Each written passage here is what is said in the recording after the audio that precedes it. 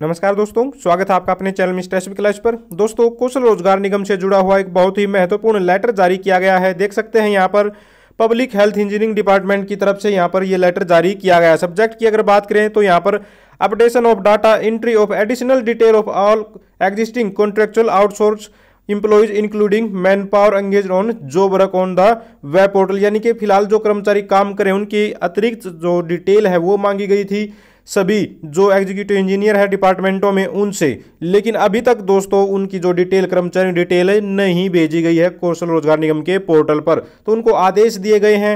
एक तरह से सख्त आदेश हैं कि जल्दी से जल्दी उनका जो है डाटा उनकी जो अतिरिक्त डिटेल मांगी गई थी, उसको पोर्टल पर अपडेट कर दिया जाए। तो आइए पूरा लेटर इसमें क्या कुछ लिखा हुआ है, पूरा आप लोगों को बता देते हैं पढ़कर। आगे बढ़ने से पहले रिक्वेस्ट है, चैनल पर पहली बार है तो चैनल को ज़रूर सब्सक्राइब कर लीजिए। देखिए, यहाँ पर बताया गया है कि पिछले जो एक महीने की जो पोर्टल पर जो रिपोर्ट चल रही है, यानी कि हरियाणा कौशल रोज़गार निगम के पोर्टल पर जो रिपोर्ट है, उसको पिछले एक महीने की रिपोर्ट को देखकर पता चल रहा है कि अभी तक जो विभागों के डीडीओ हैं, जिनको ज़िम्मेदारी दी गई है कैंडिडेट का डाटा अपडेट करने की, मैपिंग, वो मैपिंग है अभी तक चली हुई है, ठीक है? जबकि ये जो काम है दोस्तों, यहाँ पर बताया गया है it should have been completed three four month earlier ठीक है? तो ये जो काम है, जो तीन चार महीने पहले हो जाना चाहिए था, वो अभी तक जो है काम चला हुआ है। यहाँ पर ये बात बोली गई है, ठीक है? तो यहाँ पर बताया गया है, देख सकते हैं, यहाँ पर हेड ऑफ़िस के द्वारा समय समय पर, यानी कि जनवरी से लेकर अब तक समय समय पर ये जो है गाइडलाइन आप लोगों को जारी की गई है, लेकिन अभी तक ये डाटा अपडेट नहीं किया गया है।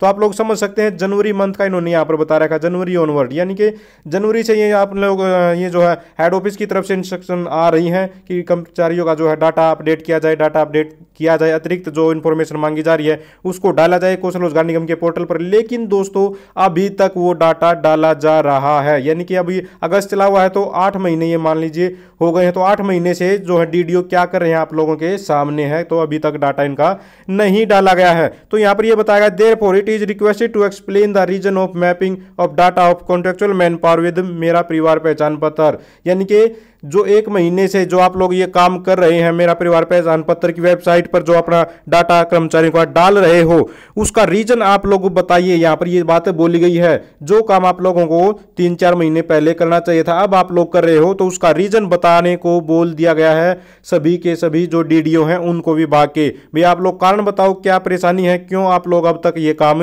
नहीं कर पाए हो और अब ये आप लोग अपना धीरे धीरे लगे हुए हो? तो further it is also requested to map the balance contractual man power on यानी कि मेरा परिवार पहचान पत्र, यानी कि ये इसमें यह बात बताई गई है कि यहाँ पर कि आप लोगों को आदेश दिए जाते हैं आपसे रिक्वेस्ट है कि आप लोग तीन आठ दो हज़ार बाईस से पहले पहले इसको जो है निपटा लें इस काम को, इससे आगे के आपको जो है काम करने के आदेश नहीं है। यानी कि तीन आठ दो हज़ार बाईस तक, तीन अगस्त दो हज़ार बाईस तक आप लोगों को सारा डाटा अपना जो है कर्मचारियों का आप पोर्टल पर कौशल रोज़गार नियम के पोर्टल पर अपडेट कर देना है। उसके बाद आप लोगों को परमिशन नहीं दी जाएगी।